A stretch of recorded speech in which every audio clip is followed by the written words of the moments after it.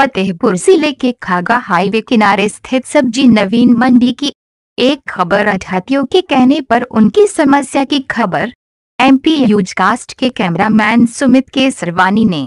11 अप्रैल को कवरेज किया था, जिसमें अशोक सेंगर के ऊपर खुला आरोप लगाया कि एक दिन हो तो बर्दाश्त करे, लेकिन हमेशा अशोक सेंगर उप जिलाधिकारी और क्षेत्राधिकारी के नाम कैरेट का कैरेट टमाटर प्याज आलू ले जाता है। उन्होंने अपनी मर्ज़ी से अपनी समस्या कैमरे के सामने रखा। और ये खबर चलने के दो दिन बाद अशोक सेंगर का भतीजा, सुमित के घर जाकर गाली कलौज कर धमकी देकर चला जाता है।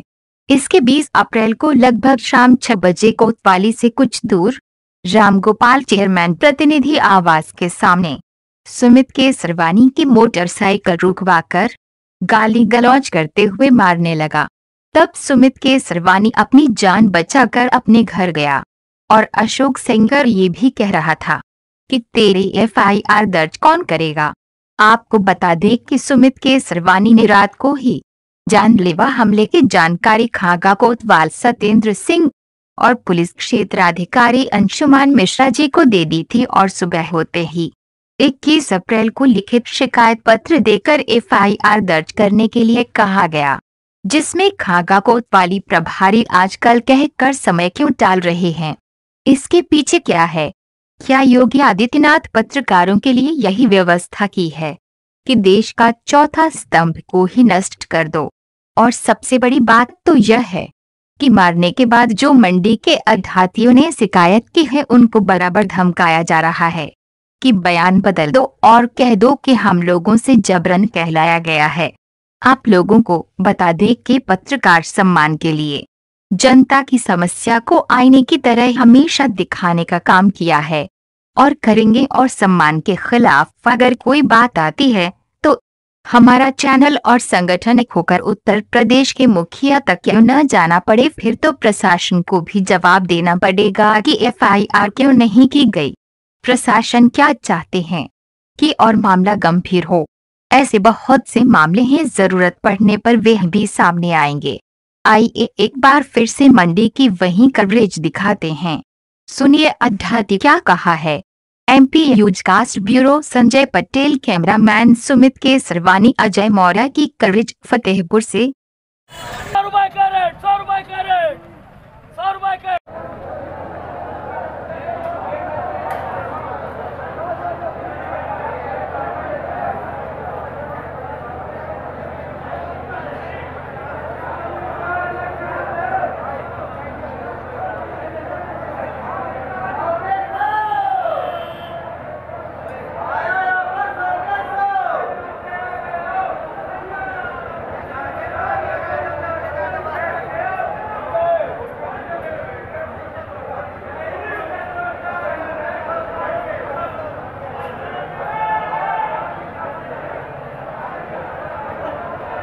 हमारी चंदे मैं वार्षिक ट्रेडिंग कंपनी में छः साल से मुनेनी करता हूँ। और अशोक सिंह सेंगर पत्रकार है जो वो आके हमारे दुकान में टमाटर लेते हैं। अगर नहीं देते तो गाली वगैरह भी बकते हैं। आ, एक बार मुझको भी उल्टा सीधा कहा जिससे मुझे बहुत कष्ट हुआ। आ, वो उन्हीं लोगों को सताते हैं जिन जो उनसे लड़ नहीं सकते। आपने उन, उनके लिए किसी से शिकायत वगैरह की है? यहाँ शिकायत जब मालिक से बताया गया तो हमारे प्रोपाइटर साहब को जब बताया गया तो उन्होंने उनको भी वो गाली पकड़ दिया एक बार नहीं कई बार दिया। ये हमेशा करते हैं। इस समय आते हैं कहते हैं कोतवाल के लिए सब्ज़ी है ये इसके लिए सब्ज़ी अपने मन से भर लेते हैं टमाटर और हाँ दुनियादारी नहीं लेके जाओ कैरेट उठाओ सौ रुपये कैरेट उठाओ सौ रुपया चलो तुमको कहा था कि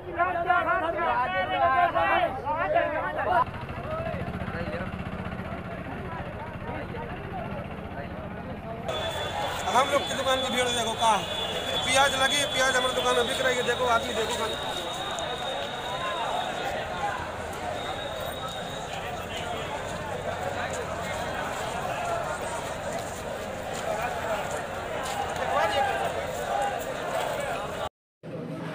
हाँ भैया यही हमको अशोक पत्रकार है। अशोक सिंगल वही की वजह से वो उस दिन हमारे पास आए थे। कि भैया आप दो कैरेट टमाटर दे दो। हमको थाने ले जाना सी साहब मंगाए। तो हमने नहीं दिया। वही की वजह से वो हमारे ऊपर बहुत खपा है। अच्छा। दो दो कैरेट टमाटर मांग रहा था। और मिर्ची लगी थी पाँच किलो मिर्ची मांग रहा था कह रहा स्टाफ में खाना बनवाना है तो सीओ साहब मंगाए। हमने कहा भैया ऐसा करो हमसे पाँच किलो ले लो टमाटर थले थोड़ा थोड़ा ले। लो कह रहे नहीं दो कैरेट दो हमको देना पड़ेगा। हम नहीं दिए तो वही उस दिन से हमारे पीछे पड़ा हुआ है। कि हमारे साथ में कल एस डी साहब को बुला के हमारी गाड़ी हटवा दिया आधा घंटे की हम मोहलत मांगे कि आधा घंटे हमको एस डी साहब माल भेज ले दिया जाए। अब आज के बाद अपनी माल न माल मंगवाएँगे न गाड़ी मंगवाएँगे न गाड़ी खड़ी करवाएँगे आज के बाद। आज भर को हमको टाइम दिया जाए आधे घंटे का। और आज के बाद हम यहाँ यहाँ भीड़ भी हमारे दुकान में नहीं लगती है। अच्छा। बस हमारे दुकान में दो आदमी तीन आदमी की भीड़ लगती है हमारे दुकान में गोला बना हुआ है। पाँच गोला हमारे दुकान में बना हुआ है। गोला हम कहते हैं वो गोला बना हुआ है नाली के उस पर जहाँ पैकार खड़े होते हैं। अगर हमारे साथ में कोई अगर हम कोई गलती करें तो हम हमको जो सजा देना हो दे दिया जाए। मगर बेकसूर हमको फंसाए ना। इस मंडी में अवैध कार्य हो रहा है। अवैध कार्य का मतलब ये हो रहा है जिधर भीड़ है उधर डोरी लगाई जाए। जिधर भीड़ नहीं है उधर डोरी न लगाई जाए। इसलिए कि किसानों का काफ़ी नुकसान हो रहा है। कल भी खीरा बच गया, फेंका गया है। आज भी वही हाल है। ये देख लिया जाए खीरा पड़ा हुआ है, बिक नहीं रहा। और छः बजे से नौ बजे की मंडी है। अनर्गल तीन बजे से छः बजे यहाँ लगवाई जा रही है। कल की डेट में, रात में, तीन बजे के चक्कर में अरविंद आरती है। वो किसान को लेके आ रहा था एक्सीडेंट हो गया। उसमें एक किसान की मौत भी हो गई है तीन से छः की मंडी में। और आरती, अरविंद, वो घायल है, अवस्था में है। उसकी भी कोई व्यवस्था नहीं है। इस मंडी की